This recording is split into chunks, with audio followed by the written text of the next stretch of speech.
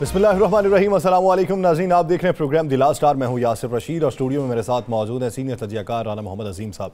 नाजीन पाकिस्तान की मौजूदा सूरत हाल ये है कि एक तरफ़ मुजाकरात हैं तो दूसरी तरफ़ विफाकी हुकूमत की जानब से यह भी पैगाम दिया जा रहा है कि ये जो कार्रवाइयाँ हो रही हैं, इन कार्रवाइयों में हमारा कोई अमल दखल नहीं है। उनका ये कहना था कि हम दोबारा आपसे इस मामले पर रबता करेंगे। ये हमारी तरफ़ से कार्रवाई नहीं हुई निगरान हुकूमत की तरफ़ से कार्रवाई हुई है। और विफाकी हुकूमत ने यह भी कहा कि मामले को ठंडा करने की हम कोशिश करेंगे। विफाकी हुकूमत इससे लाताल्लुकी का ऐलान करती है। लेकिन पाकिस्तान तहरीक इंसाफ के सेक्रेटरी जनरल असद उमर साहब ने यह कहा है कि मुजाकर जो हैं वो कामयाब होते दिखाई नहीं दे रहे। अगर इसी तरह का तासर अपनाया गया, अगर इसी तरह की कार्रवाइयाँ की गई तो फिर मुजाकर किस तरीके से कामयाब होंगे? क्या विफाकी हुकूमत वाकई नहीं चाहती कि मुजाकर कामयाब हों? क्योंकि निगरान वजी अला पंजाब ने मदीना से यह पैगाम भिजवाया है कि आइन कानून के मुताबिक कार्रवाई होनी चाहिए। और उनका यह भी कहना था कि जब कार्रवाई वजी सबक वजी अला परवेज लाही के घर पर हुई तो फिर दूसरे घरों के दरवाजे क्यों तोड़े गए? ये सवाल उनकी तरफ़ से उठाया गया। शाहिद खाकान, अब्बासी साहब के बयान के ऊपर बहुत सी हलचल मचना शुरू हो चुकी है। पाकिस्तान तहरीक इंसाफ ने बहुत से सवाल उस पर उठाना शुरू कर दिए हैं। तो आने वाले दिनों के अंदर पाकिस्तान मुस्लिम लीग नून क्या मुतहद रहेगी? या ये जो बातें अब होना शुरू हो चुकी हैं, इससे दराड़ में मजीद इजाफा होगा? राना साहब की तरफ़ बढ़ते हैं। राना साहब, सबसे पहले बात का आगाज़ है अब्बासी साहब के बयान के हवाले से। बीस अरब की उन्होंने बात की है, अस्सी अरब मजमू तौर पर हुकूमत कहती है, हमने खर्च किया। बीस अफराद की जाने भी इसमें गई। मजमू तौर पर आप क्या समझते हैं कि पाकिस्तान मुस्लिम लीग नून किसके नैरेटिव पर चल रही? बसमीम असलात वसलाम या सैदी या रसोल असलात वसलाम या सैदी या हबीब या सर दो चीज़ें तो बड़ी क्लियर और वाज हैं। मुस्लिम लीग नून में वाज तौर पर तकसीम हो चुकी है। और इतनी बड़ी तकसीम हो चुकी है कि आपको आइंदा आने वाले चंद दिनों में ये तमाम चीज़ें क्लियर होकर नज़र आना शुरू हो जाएँगी। मुफ्ता इसमाइल, शाहिदा खान अब्बासी और इसके बाद आप देखेंगे कि पोटो हार से तलक रखने वाले कई लोग होंगे। आपको नज़र आएगा कई लोग और चौधरी निसार की तरह अचानक बाहर निकलेंगे। मामला यह है कि शाहिदा शाहिदा अब्बासी ने, शाहिदा खान अब्बासी ने जो इल्ज़ाम लगाया है कि 20 अरब रुपए की चोरी हुई है। अब ये 20 अरब की चोरी पंजाब में हुई है के पी के में हुई है, वफाक में हुई है, कहाँ पे हुई है? किसी एक जगह में तो ये चोरी हुई है ना। अगर शाहिदा खान अबासी जैसा शख्स जो सबक वज़ी अजम रहा हो, मौजूदा हुकूमत में वज़ीर हो, और वह किसी छुप कर नहीं कह रहा, किसी निजी महफल में नहीं कह रहा, वहाँ कह रहा है जहाँ पर मीडिया मौजूद है, वहाँ कह रहा है जहाँ पर तमाम टी वी चैनल्स मौजूद हैं, वहाँ कह रहा है जिस प्रोग्राम को मीडिया कवर कर रहा है। तो उसके बाद मैं आपको ये बताऊँ, उसके बाद तीन तर, तरदीदें आती हैं। मरियम औरंगज़ेब की तरदीद आती है एहसन इकबाल की तरदीद आती है अता तारर की तर, तर, तर, तरदीद आती है पंजाब के निगरान वज़ी अला जो हैं उनके मशीर जो हैं आमिर मीर साहब उनकी तरदीद आती है। यानी बे इंतहा जो तरदीदें वो आना शुरू हो गई हैं। इसका मतलब ये है कि दाल में कुछ काला है। ये बात कही होती असद उमर ने ये बात कही होती अली जैदी ने यह बात कही होती फवाद चौधरी ने यह बात कही होती शाह महमूद कुरैशी ने। तो ये कहते हैं ये एक सियासी बयान है। हमारे सियासी मुहालफिन ने जानबूझ के ये बयान। ये तो इनकी जमात के अंदर से हो रहा है। और मेरे पास इतला ये है कि मुस्लिम लीग नून के अंदर शाहिद अकान अब्बासी की हमायत याफ्ता एक बड़ी टीम मौजूद है। और ये आहिस्ता आहिस्ता ये लोग बाहर आना शुरू हो रहे हैं। याद करें, हमने अपने प्रोग्राम में कहा था कि एक बड़ा बड़ा ग्रुप जो है, वो मुस्लिम लीग नून के अंदर ऐसा मौजूद है, जो अब प्रोटेस्ट पे आ रहे हैं। जो आप अपनी ही क्यादत के गलत फैसलों के खिलाफ आ रहे हैं। देखें आप आज से चंद दिन पहले शाहिदा खान अब्बासी साहब ने कहा यह लफज कि जनाब इमरान खान में अहम, इतनी अहमियत है उतनी इतनी खसूसियात हैं कि वो लीडर है। और मानना पड़ेगा हर शख्स को मानना पड़ेगा क्या इमरान खान से बड़ा इस वक्त पाकिस्तान में कोई लीडर है? या सर हकाइक देखे ना जमीनी का साहब ने बातें बहुत सारी की हैं। राना साहब इस पर मजीद भी बात करेंगे लेकिन हमें ज्वाइन कर चुके हैं पाकिस्तान तहरीक इंसाफ के रहनुमा अली मोहम्मद खान साहब। खान साहब बहुत मशहूर हैं आपके वक्त के। अली मोहम्मद खान साहब, अगर देखा जाए तो एक तरफ़ आपके पार्टी के सदर के घर पे धावा बोला गया है। अब कार्रवाई के नतीजे में आज जो एंटी करप्शन हुकाम को वो जमानती अहकाम जो उन्हें मौसू हुए हैं, उसके मुताबिक वो ये कहते हैं कि छः मई तक गिरफ़्तार नहीं किया जाएगा।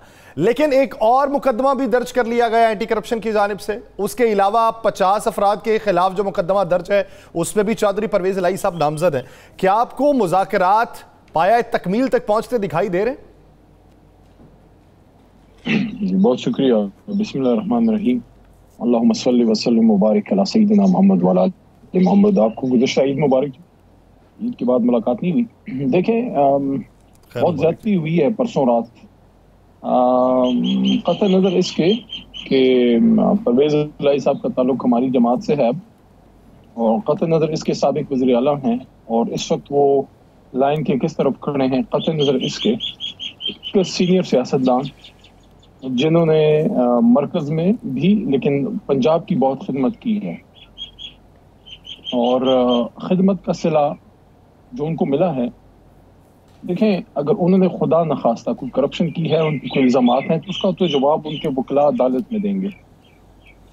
लेकिन एक सीनियर सियासतदान के साथ ये होना कि रात के दो तीन बजे उनकी खातन को इस तरह से उनकी बेहरमती घर की चादर चार दीवारी की आर्टिकल चौदह तो मौजूद है ना जी आइन तो मौतल नहीं है।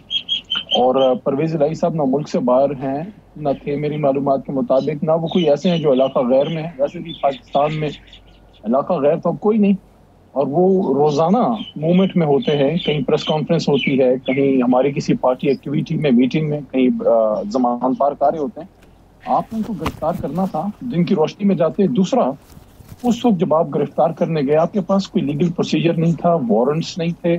सबसे इंपॉर्टेंट चीज़ ये है कि पाकिस्तान की सबसे बड़ी अदालत है सुप्रीम कोर्ट के बाद। सबसे बड़ी हेरिटेज है लाहौर हाई कोर्ट की। और उसके हुक्म को आपने ऐसे पैरों तले रोंदा और फिर कोई आपने लिहाज नहीं रखा कि एक बुज़ुर्ग सियासतदान है। और घर में चोई शुजात साहब भी हैं, जो मैं, मुझे याद है कोई तीन साल पहले मुझको देखने गया तो उस वक्त भी बीमार थे। तो एक उनकी कोई इज़्ज़त नहीं है, कोई घर की कोई इज़्ज़त नहीं है, कोई तकरीम नहीं है। और अब इसको कोई ओन भी नहीं कर रहा। ना मियाँ साहब कर रहे हैं शहबाज साहब और डिनाई किया सब उसको और पंजाब की तो ये मुझे बताएँ कौन ही सारा कुछ कर रहा है? और अगर घर की और घर की चादर चार दीवारी की कोई तकदस नहीं है तो फिर तो मुल्क सरजमीनी बेआईन हो जाएगा। ये देखिए कल्चर के भी खिलाफ है आइन के भी अली मोहम्मद खान साहब हमारा जो पंजाब का कल्चर अली मोहम्मद खान साहब सुनने में आ रहा है कि अब आपके बड़े करीबी दोस्त भी हैं बड़े एक्टिव भी हैं और के पी के में बड़े उनकी हिदमात भी हैं। मुराद सही साहब, उनको भी गिरफ़्तार करने का फैसला हो चुका है और अगले चंद घंटों में या चंद दिनों में उनकी गिरफ्तारी भी मुतव है। मुराद तो छोटा भाई है, दोस्त से बढ़कर है और बहुत नडर भी है और मैं समझता हूँ कि वैसे तो सभी मेरे प्यारे हैं। असद उमर साहब की अपनी अहमियत है, कुरैशी साहब की अपनी है, खटक साहब की। लेकिन मैं तरीक इंसाफ में इमरान खान साहब के बाद जिसकी सबसे ज़्यादा इज़्ज़त करता हूँ कुर्बानियों की वजह से और उसकी कमिटमेंट की वजह से वो मुराद सईद साहब हैं। और वो मिडिल क्लास और लोअर मिडिल क्लास की होप भी है। सवाद की पहचान है, मुल्क की पहचान है। मैं समझता हूँ कि कोई भी उनकी जान को खतरा ज़ाहिर है क्योंकि बहुत से थ्रेट्स उनको हैं तो मुल्क की और रियाती इदारों की ज़िम्मेदारी है उनकी हिफाजत करें। और उन्होंने जिस तरह मिनिस्ट्री चलाई है तो वो तो तारीखी है। अरबों खरबों की मिनिस्ट्री इस तरह चलाई कि मुझे पता है कि उन्होंने गवर्नमेंट ख़त्म होने के बाद कितनी मुश्किल से टाइम गुजारा है। और ऐसे शख्स के बारे में पकड़ धकड़ अगर वो हक और सच बात करता है तो जो बात करता है, उसकी तरफ़ ध्यान किया जाना चाहिए कि वो क्या कह रहा है। वो अपने मुल्क और अपने सवाद के अमन के लिए फिक्रमंद है। ज़ाहिर है सवाद का बेटा है और उसको अपने घर, अपने इलाके की फ़िक्र है। अली मोहम्मद खान साहब एक तरफ़ आप मुजाकरात कर रहे हैं तो दूसरी तरफ़ ये भी ऐलान हो रहा है कि तहरीक का आप आगाज़ करने वाले हैं। क्या आप इस बात का अदा कर चुके हैं कि आपको पता है कि मुजाकरात नाकाम होंगे? नहीं नहीं नहीं। देखिए पहली बात तो ये है जो एक बात मेरी रह गई जो मैंने कल सुबह की थी। परवेज लाई साहब के घर के साथ उनके साथ जो कल परसों रात किया गया मेरी अपनी ये असेसमेंट है कि लोगों का शायद ये ख्याल था जो ज़ाहिर है, हर तरफ़ नेक ख्वा बदख्वा होते हैं। जो बहुत से लोग इस पर खुश हैं कि सियासतदान बैठ गए हैं, सुप्रीम कोर्ट के हुक्म पे। कुछ ऐसे भी स्पॉयलर्स हैं जो नहीं चाहते कि इन मसाइल का ऐसा हल निकले, जो किसी भी सेगमेंट में हो सकते हैं। तो शायद ये एक सोच भी थी कि कोई एब्रप्ट जज्बाती एक रिएक्शन आ जाएगा हमारी तरफ़ से और हम नेगोशिएशन से वॉकआउट कर जाएँगे। क्योंकि नॉर्मली तो होता यही है कि अगर आप मजाकरे में बैठे हैं, जरगे में बैठे हैं, आप डायलॉग में बैठे हैं और आपके करीबी लोगों को इस तरह बेजत किया जा रहा है उठाया जा रहा है पकड़ धकड़ तो नॉर्मल रिएक्शन यही है कि आप फिर बाइकआउट करते हैं। लेकिन इस पर हमारी लीडरशिप इसको समझती है। मैंने भी ये राय दी कि हमें हर सूरत में डायलॉग को कंटिन्यू करना चाहिए, क्योंकि वहाँ भी ऐसे लोग हैं जो चाहते हैं कि ये कंटिन्यू हो। जहाँ ख्वाजा आसिफ साहब जैसे बुजुर्गवार हैं, जो पत्नी इस उम्र में भी खलंडरापन दिखाते हैं कि आप मुझे ये बताएँ इसाक डार साहब और जो दूसरे उनके लोग वहाँ बैठे हैं डायलॉग में क्या वो मियाँ शहबाज शरीफ साहब और मियाँ नवाज़ शरीफ साहब की इजाज़त के बगैर बैठ? हैं तो अगर नहीं बैठे तो ख्वाजा आसिफ साहब ये क्यों कर रहे हैं? और उनके कुछ और दोस्त भी आ, कुछ मौलाना अच्छा अच्छा चले राना साहब आपसे सवाल करेंगे। मैं मैं मेरा ये बीच में इसी में से सवाल ले लें। क्या आप ये समझते हैं कि ख्वाजा आसिफ साहब जो बात कर रहे हैं वो मियाँ साहब की राय नहीं? देखें इसाक डार साहब जितना हमारी मालूम हैं तो इनकी मौजूदा मेन लैंड पाकिस्तान में जो लीडरशिप है आ, हम सब की शायद ये असमेंट हो कि शहबाज शरीफ साहब से भी ज़्यादा शायद इसाक डार साहब ट्रस्ट वर्दी हैं मियाँ साहब के नवाज़ शरीफ साहब के। तो इसाक डार साहब इसमें बैठे हैं तो क्यों बैठे हैं? खानापुरी के लिए तो नहीं बैठे और डायरेक्शन सुप्रीम कोर्ट की है। तो इन हालात में मैं नहीं समझता कि किसी भी मुस्लिम लीग नून के जिम्मेदार आदमी को ये जचता है कि वो डायलॉग के खिलाफ और करना भी चाहते हैं तो करें बात। देखें, मैं एक और भी बात बताऊँ। हमें तो जो चाहिए था, एक तो हमें मिल गया। पंजाब के इलेक्शन चौदह मई को मिल गए। चौदह मई को अगर खुदा ना खासा सुप्रीम कोर्ट हुक्म पे नहीं भी करते तो तीस मई तक तो करना पड़ेगा ना। कुछ तो आपको करना पड़ेगा। You can't just go like this कि आप आइन को पैरों की जूती बना दे, खुदा न खास्ता। और सुप्रीम कोर्ट को आप घर की लोंडी बना दें, खुदा न खास्ता। इस तरह तो नहीं कर सकते कोई भी। आपको सुप्रीम कोर्ट को इज़्ज़त तो देनी पड़ेगी। तो हमें तो वो मिल गया। अब असल तो फ़ायदा इस डायलॉग का ये है कि एक वक्त में जो इलेक्शन चाहते हैं, खासकर पीडीएम हुकूमत तो उसके लिए उनको थोड़ा मार्जिन दिखाना पड़ेगा। थोड़ा रिलैक्स अपना माहौल जहन के साथ आना पड़ेगा, क्योंकि एक दिन पे इलेक्शन हमारी भी ख्वाहिश है। लेकिन अगर एक दिन पे नहीं होता, हमें दोनों सूट करता है, मैं आपको बताऊँ। अगर एक दिन नहीं होता, पंजाब का खैबर पख्तूनख्वा का पहले होता है तो जनरल इलेक्शन में हमें इसका फ़ायदा होगा, आवाम का एक मूड आ जाएगा सामने। और तीसरा, हमें सिंध में जाके ज़्यादा काम करने का मौका मिलेगा। जरदारी साहब बड़े आराम से उधर पैर पर पैर रख के बैठे होते हैं, थोड़ा सा उनको भी छेड़ते हैं, थोड़ा सा उनको भी बताते हैं तहरीक इंसाफ इधर भी है इनशाला तो हमें तो दोनों सूट करता है। असल में फ़ायदा तो हुकूमत को है अगर एक दिन पे इलेक्शन होता है तो थोड़ा सा उनको अपने उधर से उतरना पड़ेगा इकतदार के सिंहासन के तकबर से थोड़ा नीचे आना पड़ेगा और जब भी आप डायलॉग में बैठते हैं तो आप यहाँ से स्टार्ट करते हैं मिडिल ग्राउंड पे डिसीज़न अली महमूद खान साहब आज ख्वाजा आसफ साहब ने कहा है कि हालात साजगार नहीं है इसलिए हम मियाँ नवाज़ नहीं वज़ीर अजम उनका वज़ीर ख़जाना उनका वज़ीर दाखिला उनका हर चीज़ तो उनकी है तो फिर किस वो किस तरफ़ इशारा कर रहे हैं? हालात साजगार अदलिया की तरफ़ इशारा कर रहे हैं इस्टेब्लिशमेंट की तरफ़ इशारा कर रहे हैं या फिर आपका खौफ है उन्हें क्या है? इस्टेब्लिशमेंट के दो खुद माई बाप हैं। वो वज़ीर दिफा है पावरफुल आदमी है। इतने ज़बरदस्त आदमी है कि बड़े बड़ों के पैर जो है वो नहीं टिकते। ये बातें करते हुए जो असम्बली के फ्लोर पे वो हमारे दिफा के इदारों में के बारे में वो कर जाते हैं तो उनको किस चीज़ का खौफ है? वो खुद वज़ीर दफ़ा है। किस चीज़ से डर रहे हैं? सारे इदारे उनके नीचे हैं इंटीरियर मिनिस्टर उनका है फौज उनको रिपोर्ट करती है खुफिया इदारे उनको रिपोर्ट करते हैं वजी अजम साहब को करते हैं वजी अजम उनके जो है बड़े साजगार किस तो लिए नहीं? कौन से हालात साजगार नहीं है? अवामी हालात? एक ही नहीं है एक ही नहीं है जिधर जिस हल्के से वोट लेके आते हैं उधर जाने जोगे नहीं है हल्के में जाने जोगे नहीं है। महँगाई इतनी कर दी है लोग उनको देखना नहीं चाहते। लोग इनकी तरफ़ देखना नहीं चाहते, बात क्या सुनेंगे? वोट तो बड़ी दूर की बात है, लोग इनकी तरफ़ देखना नहीं चाहते। तो ये हालात साजगार नहीं है, बाकी तो इनको क्या खतरा है, क्या मसला है? बड़ा भाई इनका, छोटा भाई वज़ीर आज़म है, और उनके सब कुछ, उनको सपोर्ट उनको हासिल है। खतरा तो होगा तो इमरान खान को होगा, जो गोलियाँ खाए बैठा है। खतरा होगा तो मुराद सिंह को होगा, खतरा होगा तो हम लोगों को होगा। खतरा होगा तो शहबाज जो है अपना चोई साहब को होगा। इनको क्या खतरा है? अच्छा अली मोहम्मद खान साहब आपने कहा हमें जो चाहिए था वो तो हमें मिल गया। पंजाब के हवाले से आप बात कर रहे थे। आप पंजाब से थोड़ा सा दूर बैठे हैं लेकिन इन्फॉर्मेशन से मुझे लगता है ज़्यादा दूर है। सर छपाई नहीं हो सकी बैलेट पेपर्स की। इलेक्शन कमीशन ने रिपोर्ट जमा करवा दी है और कहा है कि हमें फंड नहीं मिले। तो कैसे मुमकिन है जब छपाई मुमकिन नहीं हो सकी उसका ऑर्डर ही नहीं जा सका तो इलेक्शन कैसे करवाने हैं सर? देखिए मैं मुझे अपनी सुप्रीम कोर्ट पे एतमाद है और मुझे यकीन है कि उन्होंने जो ऑप्शन दी है सियासी जमातों को, अगर सियासी जमातों ने उसको अवेल ना किया तो तमाम मुल्की इदारे उनके पास कोई ऑप्शन नहीं है। एक ही उनके पास रास्ता है, वो है सुप्रीम कोर्ट के साथ खड़ा होना। आर्टिकल एक सौ नब्बे उनको पाबंद करता है।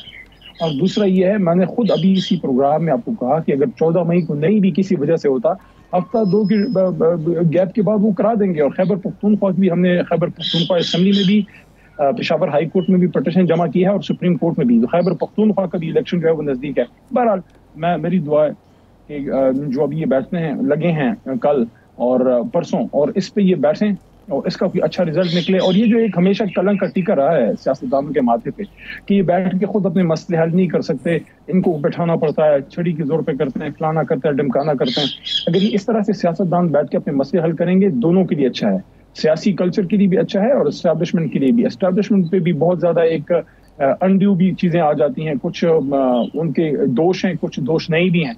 तो अगर वो इस सिस्टम में सियासतदान अपने मसले खुद ट्रबल शूटिंग कर लेते हैं तो इसका बड़ा फ़ायदा, मैं समझता हूँ, बहुत बड़ा फ़ायदा पॉलिटिकल कल्चर के अलावा हमारी इस्टेब्लिशमेंट को भी होगा कि वो भी अपने चीज़ पे फोकस कर सकेंगे और जो इल्ज़ाम लगते हैं, उनसे भी उनको अपने आप को दूर करने का प्रैक्टिकली मौका मिलेगा तो ये बहुत इंपॉर्टेंट है कि ये मज़ाक कामयाब हो एक अच्छी डेट सामने आए और एक दिन पे पूरे मुल्क में इलेक्शन हो इनशाला अली महमद खान साहब तहरीक इंसाफ में मेरिट की बात हमेशा होती है और खान साहब मेरिट पे बड़ा बात करते हैं आप भी हाँ। मेरिट पे करते हैं इस बार टिकटों की बंदरबाट पे बहुत सी आडियो भी सामने आई हैं बहुत से लोगों हम्म। का प्रोटेस्ट भी सामने आया है बहुत सी टिकटें जो हैं वापस भी हुई हैं लोगों को दी भी गई हैं मज़ीद भी इस पर काम हो रहा है क्या ऐसा हो गया? खान साहब तो खुद इंटरव्यू कर रहे थे और बहुत से इंटरव्यू खुद भी किए, कुछ पार्टी के लोगों ने भी किए। तो फिर ये जो बाहर चेम गोइयाँ शुरू हो गई हैं, कुछ ऑडियोस आनी शुरू हो गई हैं, इसके पीछे हकीकत क्या है? नहीं, पहली बात तो ये है, शोर हमेशा शहर में होता है। शोर हमेशा शहर में होता है। शोर कब्रिस्तान में नहीं होता। कब्रिस्तान में खामोशी होती है, मौत की। तो वो जमात जो अवाम के दिलों में हो जिसका मैंडेट हो, जिसको अल्लाह की मदद हो, जो वाम के दिलों में हो, वहाँ वोट के लिए भी भाग दौड़ है, वहाँ टिकट के लिए भी भाग दौड़ है। यहाँ अच्छे भी लोग हैं और मैं समझता हूँ कि बुरों की भी कमी नहीं होगी। हमारे मुल्क में जो करप्शन का कल्चर है, वो बड़ा नीचे तक जा चुका है। तो इस वजह से इमरान खान साहब खुद बैठे। ये बड़ा उनमें मैं समझता हूँ, बहुत बड़ा पेन लिया है। कि खुद बैठे और सारा वो खुद भी कर रहे थे, लेकिन बीच में फिर ये ज़ाहिर है, वो डेट आ गई। अदरवाइज़ पूरे पंजाब का उन्होंने interview by interview seat by seat करना था। लेकिन बहुत सा कर भी दिया। लाहौर, गुजरावाला, साथ में ये फैसलाबाद रीजन जो मेन बड़े बड़े रीजन है उसमें काफ़ी काम निकाल भी लिया। लेकिन लेकिन उसमें उसमें अली मोहम्मद खान साहब एक सवाल तो ये भी है ना कि हल्के की सियासत को कौन लोग जानते हैं? ये एक बुनियादी सवाल है। वो शहर के लोग जानते हैं ये खान साहब ने वहाँ पे जाके लोगों को देखा हुआ। और तीन से चार मिनट में उसके किरदार को अखज कर लेना या उसकी पॉपुलैरिटी को अखज कर लेना ये भी एक सवाल है।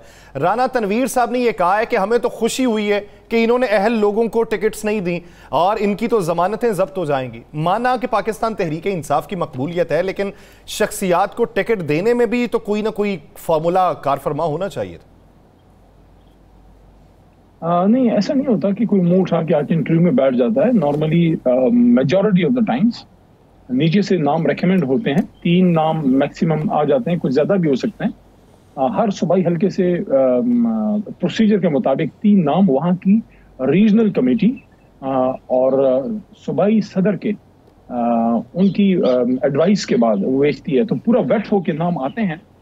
इंटरव्यू करने का मकसद बेसिकली ये होता है कि जब आप सामने आपका, आ जाता है, तीन नाम आगे कमेटी ने भेज दिए नंबर वन पे अली है नंबर टू पे मोहम्मद है नंबर थ्री पे खान है अब ये अली, मोहम्मद और खान में बेहतर कौन है? तो सामने जब वो बैठेंगे तो वो फिर लीडर उसको असेस कर सकता है, ज़ाहिर है आपकी बात दुरुस्त है। नीचे से इमरान खान साहब खुद नहीं पिक करते, नीचे से नाम कमेटी भेजती है। और दूसरी चीज़ ये है कि ये कंसर्न ज़ाहिर करता है चेयरमैन का, कि वो इस पर कितने कंसर्न है। कुछ अर्से पहले मैंने भी उनको कोई पौने तीन तीन महीने पहले रिक्वेस्ट की थी कि माजी में हमारे टिकट के बारे में बड़ी चीज़ें आई और आप इसको इस बार खुद करें। और मेरी रिक्वेस्ट उनको ये थी कि चाहे कुछ भी हो, कितना भी बड़ा आदमी हो, मैंने अपने आप को ऑफ़र किया कि मेरे से स्टार्ट करें कि अगर खुदा न खास्ता इतना भी शायद है करप्शन का करप्ट आदमी को टिकट मत दें। इसी करप्ट को मत दें, इस बार अल्लाह के करम से तहरीक इंसाफ का वोट जो है कामयाबी की जमानत है। अगर भी, थोड़ा भी किसी की शक्ल तरीके इंसाफ से मिलती है। शक्ल से मतलब ये है कि उसका किरदार है और इलाके में थोड़ा बहुत उसका रोल है और आदमी इज़्ज़त वाला है, वो जीत जाएगा। और मैं समझता हूँ कि इस बार इमरान खान साहब ने इस पर बड़ा फोकस किया है कि कारकुनों को और जो इन मुश्किल में तरीक के साथ खड़े रहे हैं, उनको उनको दें। और ये जो एक दस साल पहले एक चीज़ हमारी जमात में आई थी कि बड़ा कोई इलेक्टेबल है। इलेक्टेबल इस वक्त तरीक इंसाफ का वोट है। तरीक इंसाफ का, का बल्ला जो है वो इलेक्टेबल है। इमरान खान साहब का नाम इलेक्टेबल है। और मैं तो दूसरी जमातों के बारे में भी ये कहूँगा। मेरी तो दुआ है कि मुस्लिम लीग नून या पीपल्स पार्टी वो भी अपने खासकर पीपल्स पार्टी अपनी बुनियादी नजरियात से जुड़ें और वोट पार्टियों को पढ़ना शुरू हो बजाय शख्सियात के ताकि पार्टी से फिर अवाम एहतसाब भी कर सके और वोट परफॉर्मेंस की बुनियाद पर फिर पढ़ना शुरू हो बजाय इसके कि जज्बाती नारों पर आपने कहा कि जी बिल्कुल मेरिट पे टिकटे हैं लाहौर शहर के अंदर फैसलाबाद लाहौर सियालकोट मैंने कहा देने की भरपूर कोशिश है। मैं सौ परसेंट की बात अभी नहीं कर रहा। यहाँ पर जो आपके जो आपके पुराने वर्कर हैं जो आपके साथ खड़े हैं लड़ते मरते रहे हैं वो बड़े आज ज़ुबान पार्क के बाहर में देख रहा था कि आज प्रोटेस्ट कर रहे थे भूख हड़ताली कैंप लगे हुए हैं। तो इनको मनाने के लिए या इनको राज़ी करने के लिए पार्टी के साथ रहे जिन्होंने एक वक्त गुजारा दिया तो क्या खान साहब दोबारा इनसे मुलाकात करेंगे या पीटीआई की क्यादत इनको राज़ी करेगी? नहीं इसमें रिव्यू का भी उनको ऑप्शन दिया गया और उसके साथ साथ खान साहब ने एक कमेटी भी बनाई और उसमें सीनियर लोग हैं। आ, कुछ ज़िम्मेदारी आज़म स्वाति साहब को कुछ मुराद सईद साहब को कुछ में शायद मेरा भी नाम है कुछ में शायद अपना कुरैशी साहब हैं फवाद साहब हैं असद उमर भाई हैं। तो जो लोग जिनको टिकट नहीं मिली, हुकूमत जब कामयाब होती है और आपके एक हल्के में एक दो तीन केपेबल कैंडिडेट हैं, उसमें से एक को ही आपने देना है, उसमें फिर आप जब हुकूमत आती है, आप बहुत से लोगों को आप जिम्मेदारियाँ दे सकते हैं। हुकूमत में बहुत अपॉर्चुनिटीज़ होती हैं। इनशाला जो हमारे साथ तरीक में नजरियाती लोग जुड़े रहे हैं जिनने कुर्बानियाँ दी हैं वो कुर्बानियाँ उन्होंने मुल्क के लिए दी हैं और इंशाल्लाह इमरान खान साहब उन कुर्बानियों को कभी जो है उसको नज़रअंदाज नहीं करेंगे इंशाल्लाह। मैं इस बात से अग्री करता हूँ कि आप जिन शख्सियात का नाम ले रहे हैं बज़ात खुद किसी ने पैसे नहीं लिए होंगे ये जो बातें अभी मंजर आम पे आ रही हैं। लेकिन आ, अली मोहम्मद खान साहब इससे भी इनकार नहीं किया जा सकता। मिसाल के तौर पर मैं हूँ और मैं अगर किसी को रिकमेंड कर रहा हूँ तो मैंने उससे पैसे पकड़ रखे हैं और ऐसे सैकड़ों नाम हैं कि जिन्होंने पैसे दिए हैं सिर्फ़ खान साहब से मुलाकात के लिए या टिकट के हसूल के लिए करोड़ों रुपया दिया गया जिसकी वजह से सारी बातें मंजर आम पे आ रही क्या एक शेर ना कि नहीं खेल ऐदा यारों से कह दो। नहीं खेल ऐदा यारों से कह दो कि आती है उर्दू जबान आते आते। बदकिस्मती से वो कौम जिसके नबी पाक वसल्लम ने फरमाया था कि अगर इस फातमा की जगह अगर मेरी अपनी बच्ची फातिमा तो जहरा दिलाना भी होती तो भी उन पर भी यही हद कायम होती है। कितना सख्त वईद है, कितना सख्त हुक्म है। तो इमरान खान साहब तो इस पर इतने स्ट्रिक्ट हैं, मैं फिर भी इनकार नहीं कर रहा कि नीचे ज़ाहिर है कुछ ना कुछ मसले मसाइल रहे होंगे, ऐसी कोई बात नहीं होती, लेकिन ऊपर की सतह पे तो बड़ी सख्ती है। मैं सिर्फ़ एक बात करना चाहूँगा, आज मुझे 2018 की एक बात याद आई। 17 सितंबर को खान साहब ने मुझे काबीना का मेंबर बनाया था और उसके कोई दूसरी तीसरी काबीना की मीटिंग में खान साहब ने बड़ी इंपॉर्टेंट बात वजराय कराम को की थी। मेरी बात उस वक्त के कैबिनेट मेंबर्स अगर सुन रहे हैं इस वक्त तो उनको याद आ जाएगा। खान साहब ने जब मीटिंग खत्म हुई एजेंडा क्लियर हुआ, सरकारी मुलाजमीन सेक्रेटरी साहबान जब ओके हो गए, उनको बाहर भेजा, सिर्फ़ हम लोग रह गए। और मुझे आज भी खान साहब के अल्फाज ऐसे याद हैं जैसे अभी मैं आपसे बात कर रहा हूँ। उन्होंने कहा कि मैं यहाँ सियासत करने नहीं आया। मैं इस मुल्क को ठीक करने आया हूँ। मैं अपनी हुकूमत कुर्बान कर दूँगा, लेकिन तुम लोगों में से किसी करप्ट को नहीं छोड़ूँगा। और ये कहते हुए उन्होंने बाकायदा उंगली से हमें इशारा किया, हम सबको, तुम में से किसी करप्ट को नहीं छोड़ूँगा। तो इनशाला हमारा कल्चर ये है कि करप्शन के खिलाफ है और अगर देखिए अली मोहम्मद खान साहब आप आपकी मिसाल आपकी मिसाल आपकी मिसाल हम सियासतदानों को भी देते हैं। आपके हवाले से तो कोई बात ऐसी है नहीं। कुछ लोग हैं जिनकी हवाले से हम कहा जाता है कि ये डेड ऑनेस्ट हैं और ये मेरिट पे हैं।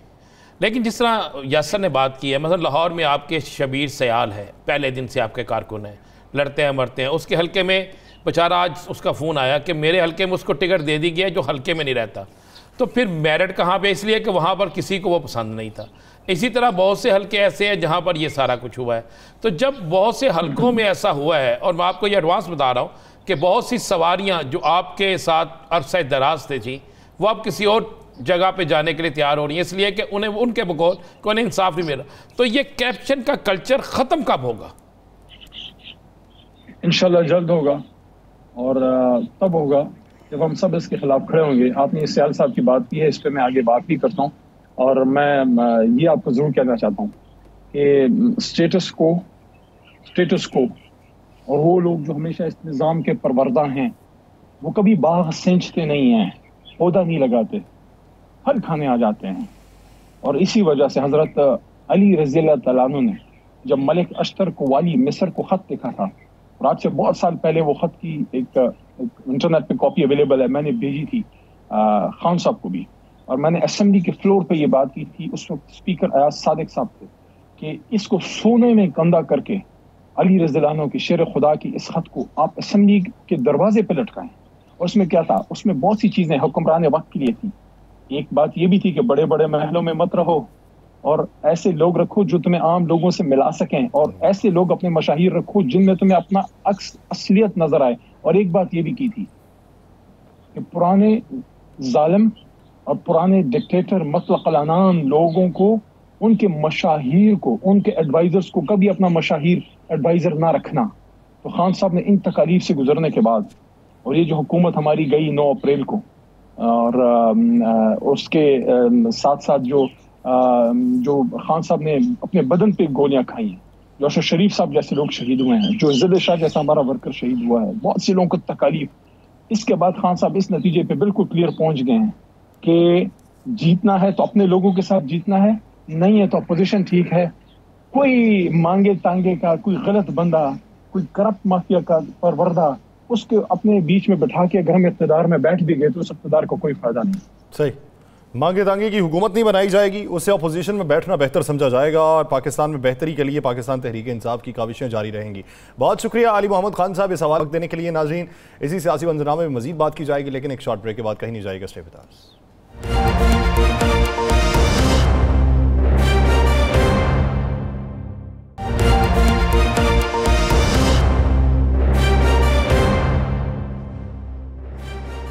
ब्रेक के बाद खुश आमदीद नाजरीन, मौजूदा सूरत हाल के ऊपर अली मोहम्मद खान साहब ने गुफ्तु की है। पाकिस्तान तहरीक इंसाफ की हमत अमली भी बताई है। टिकट की तकसीम के हवाले से जो इबहम है, उनको भी दूर करने की बात की है। मौजूदा सूरत हाल में एक तरफ़ राना तनवीर साहब ये कह रहे हैं कि ये जो टिकट्स दी गई हैं, ये अहल लोगों को नहीं दी गई और ये हमारे लिए खुशाइंद बात है। इन लोगों की जमानतें जब्त हो जाएँगी। क्या मौजूदा सूरत हाल में पाकिस्तान तहरीक इंसाफ का जो टिकट है वो अहमियत रखता है, शख्सियत अहमियत रखती है, मौजूदा हालात अहमियत रखते हैं, या मद्द मुकाबल पार्टी अहमियत रखती है। राना साहब, अगर मौजूदा सूरत हाल देखी जाए, ये टिकट्स की तकसीम, अभी तक तो ये भी बात कन्फर्म नहीं है कि पंजाब में इलेक्शन होंगे या नहीं होंगे, ये भी कन्फर्म नहीं है कि ये टिकट्स कितनी बार तब्दील हो जाएँगे। लेकिन ये जो मंजरनामा इस वक्त वजह किया जा रहा है, ये जो ऑडियो लीक्स का एक सिलसिला है और अभी इसमें मजीद भी मंजर यहाँ पे आएँगी। इनको देखते हुए क्या आपको लगता है कि पाकिस्तान तहरीक इंसाफ ये धब्बा अपने ऊपर से हटा पाएगी? देखिए, यहाँ सर एक बात उभरी क्लियर है कि जिस सियासी जमात की शोहरत होती है, जिस सियासी जमात का ज़ोर होता है, जिस सियासी जमात के जीतने के इम्कान ज़्यादा होते हैं, उसी के इर्द गिर्द बहुत से लोग टिकट लेने के लिए आ जाते हैं। इस वक्त तो ज़मीनी हक़ के मुताबिक तहरीक इंसाफ विनिंग जमात है कोई शक नहीं। देखें साठ फ़ीसद वोट होता है जमात का। साठ से पैंसठ फ़ीसद वोट पड़ना आपको जमात का। तीस से पैंतीस फ़ीसद वोट होता है जो आपकी शख्सियात आपकी बरदरी आपका सरसोख आपकी इलेक्शन कंपेन का होता है। ठीक। अब अगर आप ज़मीनी हकाइक देखें तो कोई शक नहीं है इसमें कि बहुत सी टिकटें ऐसी हैं जिनके उम्मीदवार बज़ाहिर बहुत कमज़ोर नज़र आते हैं बस इसमें मैं आपको लाहौर से चलते हैं। लाहौर में बहुत से उम्मीदवार ऐसे हैं जो ऐसे कहते हैं कि रोज़ाना की बुनियाद पे एक दो हल्के हाँ, डिस्कस कर लिया करेंगे। बिल्कुल इस तरह कर मतलब चले सबसे पहले आपका फैसलाबाद के हल्के डिस्कस कर लेते हैं। आप फैसलाबाद को जान। अब फैसलाबाद में तीन नशस्तें ऐसी हैं जहाँ पर कहा जा रहा है कि इन हलकों में उम्मीदवार इतना कमज़ोर है कि पार्टी का टिकट मिलने के बाद भी शायद वो इलेक्शन में सर्वाइव ना कर सके। उसके बाद आप आ जाए ज़रा सिंपल सा ले लें कसूर पे। या राना तनवीर साहब क्या जाए। राना तनवीर साहब की हमारे बड़े मोजस हैं, लेकिन राना तनवीर साहब का ये कहना कि मेरे महालफ उम्मीदवार बड़े कमज़ोर, आगे मैं जमानतें जब्त करा दूँगा। तो राना तनवीर साहब का इसका मतलब है कि अगर एक शख्स के ख़िलाफ़ उम्मीदवार बड़े खोले आ गए हैं तो वो कभी ये लफज नहीं कहता राना साहब। सॉरी या सर? वो तो कहेगा, यार, अगर कमज़ोर उम्मीदवार है तो वो ये नहीं कहेगा कमज़ोर उम्मीदवार तो शुक्र अदा करेगा, वो क्यों किसी को पहले कहेगा, जनाब, उम्मीदवार बड़े कमज़ोर है, इसको चेंज करो। तो वो बात मानने में नहीं आती। हाँ ये ज़रूर बात है कि उस हल्के में अगर ब्रिगेडियर राहत अमानुल्लाह के कहने पर टिकट दिए जाते तो शायद सूरत हाल तब्दील होती, मज़ीद मज़बूत लोग आते। अब लाहौर में भी यही सूरत हाल चल रही है, कसूर में, खासकर, मैं आपको एक फैसलाबाद की बात की, दूसरी कसूर की करते थे। कसूर में पीटीआई को अपनी टिकटों पर नज़रसानी करनी पड़ेगी। मलक अहमद खान है। मलक अहमद खान के मुकाबले में उसी के कज़न को टिकट दे दी गई है। अब उस हल्के में डोगर बरादरी बड़ी डाडी है। अब डोगर जो है, जब आप उनको टिकट नहीं देते तो फिर डोगर कहाँ जाएँगे? या सर फिर वो डोगर आपकी पार्टी के खिलाफ जाएँगे। कुछ जगहों पर बरादरियों को इसी तरह अप्लाइज किया जाता है। किसी जगह पे बरदरियों का वोट बैंक होता है। इसी तरह लाहौर में एक सीट है जहाँ पे मियों है। मियों का टिकट नहीं है।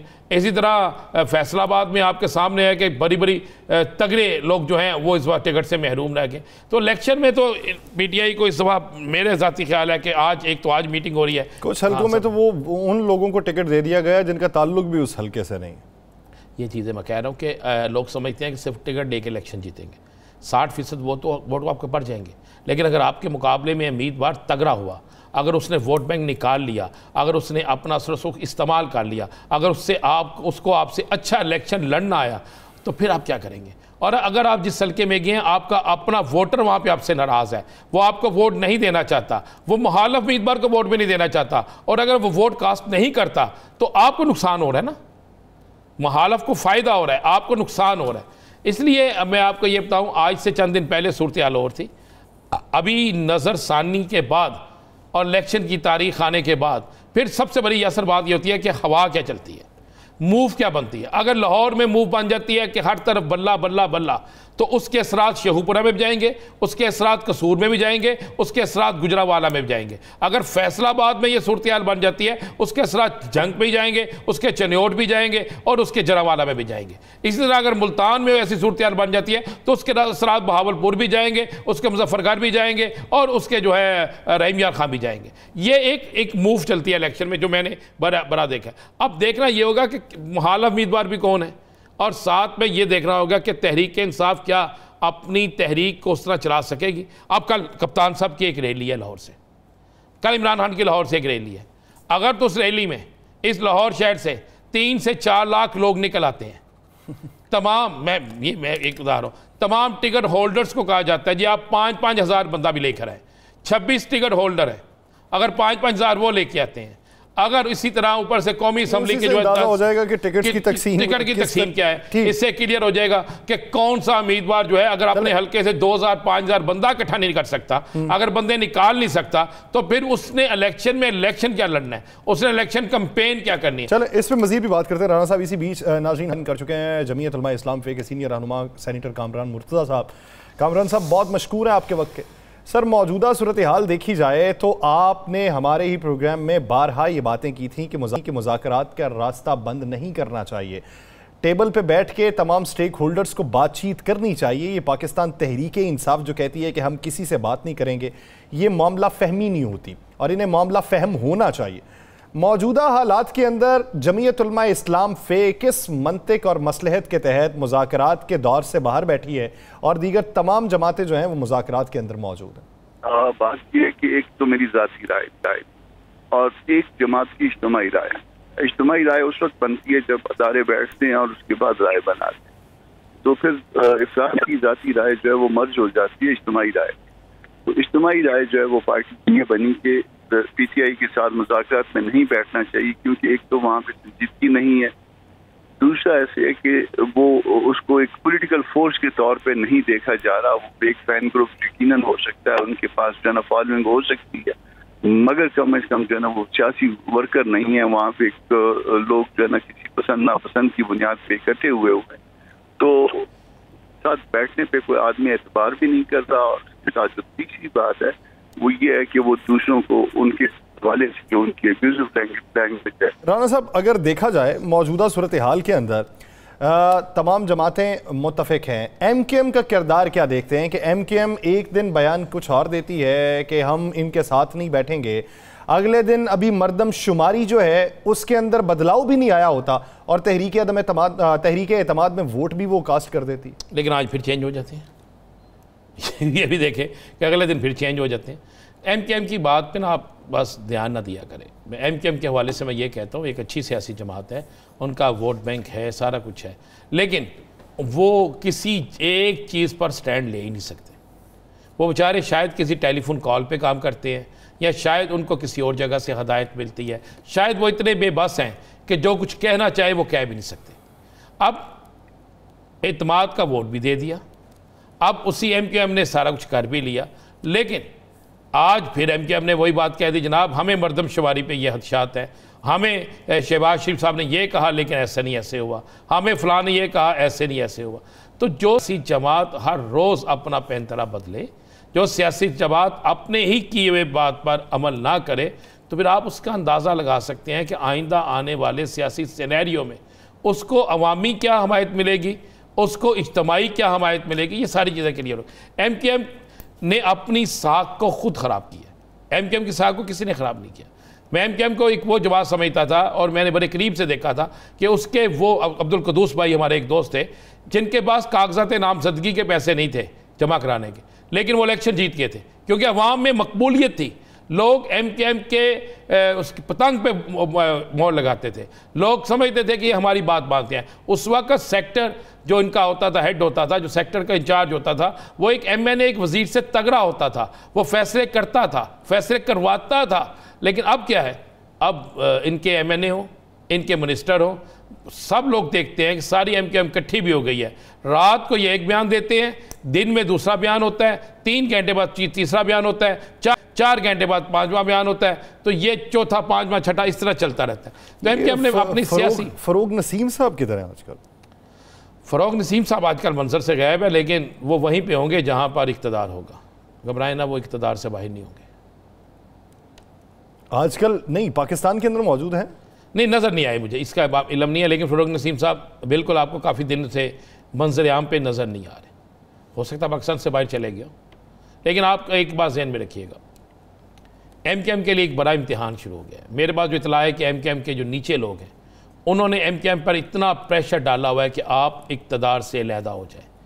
आप इकतदार से लहदा नहीं होंगे तो आइंदा इलेक्शन में हमें बड़ा बहुत बड़ा नुकसान होगा। अब एम के एम मुझे नहीं पता कि किस वजह से इकतदार से लहदा नहीं हो रही। मरदमशुमारी पर वो राज़ी नहीं है।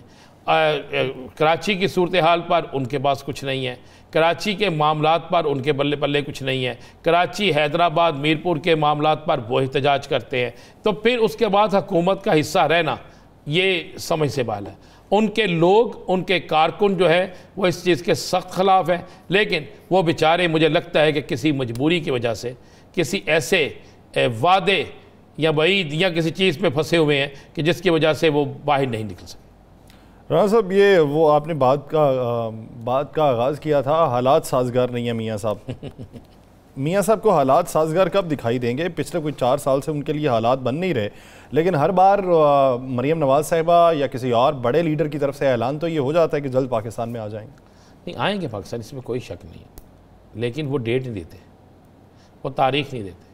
अगर आज एक वो क्लिप चला देते ना हम जो क्लिप मरियम साहबा ने एक तकरीर फरमाई थी आपको याद होगा इस्लामाबाद हाई कोर्ट के बाहर एक तकरीर नहीं बेशुमार जिसमें उन्होंने कहा था कि आज मुझे यकीन दहानी करा दे हम्म। कि मियाँ साहब की जान को ख़तरा नहीं होगा हम्म। तो मैं रात की फ़्लाइट से मियाँ साहब को ले आती। हम्म। याद है ना आपको? जी। अब वज़ीर दाखिला वज़ीर दिफा वज़ीर आज़म वज़ीर ख़जाना तमाम के तमाम इनके अपने हैं। अब अल्लाह मियाँ साहब की ज़िंदगी को लंबी उम्र मियाँ साहब को लंबी उम्र अता फरमाए। अब तो उन्हें ख़तरा भी कोई नहीं है। हकूमत भी करके पुलिस भी करके सब कुछ कर का। तो अब तो मरियम साहबा को किससे गारंटी चाहिए? अब मियाँ साहब को बुलवा लेना चाहिए। माशाल्लाह एक मुशक्क़त वाला काम होता है उम्र करना। या सर? बड़ा मुशक्क़त वाला। उन्होंने उम्र की विदायगी कर ली है। और ऊपर से उनके लिए बड़ी खसूसी दुआ वो मदनी साहब ने मांगी है। वो एक मौलाना नासिर मदनी। नासिर मदनी साहब ने कमाल के मौलाना साहब है। मुझे नहीं समझ आती वो माजरत से कभी मज़ाक पे शुरू हो जाते हैं कभी किस पे शुरू हो जाते हैं। तो उन्होंने भी बड़ी ख़ास उनके लिए दुआ मांगी है। तो अब उन दुआओं के बाद तो जद्दे से रुख तो होना चाहिए था पाकिस्तान की तरफ़। लेकिन मुझे नहीं पता जहाज़ का रुख क्यों बदल गया, हवा तेज़ चल गई या क्यों बदल गया। अब तो गारंटी की भी ज़रूरत नहीं है ना, अब तो सारी गारंटियाँ इनके पास हैं। आपको सारे इख्तियार इनके पास हैं। तो मियाँ साहब को पाकिस्तान आ जाना चाहिए। अगर मियाँ साहब पाकिस्तान नहीं आते आप भी, और ख्वाजा आसफ़ का आज का बयान कि जनाब हालात साजगार नहीं है, हालात इन हालात में हम मियाँ साहब को नहीं ला सकते। हुकूमत किसकी है यासर? क्या हुकूमत मुस्लिम लीग नून की नहीं है? क्या वज़रा इनके नहीं हैं? क्या सब कुछ इनका नहीं है? क्या इनकी हदायत पर या किसी और की हदायत पर इनके इतिहादियों की हदायत पर? अगर परवेज़ लाई के घर जो है वो बख्तरबंद गारी दाखिल हो सकती है। अगर इमरान खान के घर पर पुलिस की हज़ारों की नफरी छापा मार सकती है। अगर इनके किसी शख्स को भी किसी चौंक चुराए से पकड़ा जा सकता है। एफ़ आई ए जो है वो फ़रख बीब को जो है एयरपोर्ट से पकड़ने की कोशिश करती है। तो फिर उसके बाद और इनके पास इनको कौन सा इख्तियार चाहिए? हालात साजगार होना या गैर यकीनी की सूरत हाल को कम या मौजू बनाना, ये तो इनके अपने इख्तियार में है, लेकिन इख्तियार इस्तेमाल कब करेंगे, ये एक सवाल है। नाजरीन, इसी मंजरा में मजीद बात की जाएगी, लेकिन एक शॉर्ट ब्रेक के बाद कहीं नहीं जाएगा श्रेविदास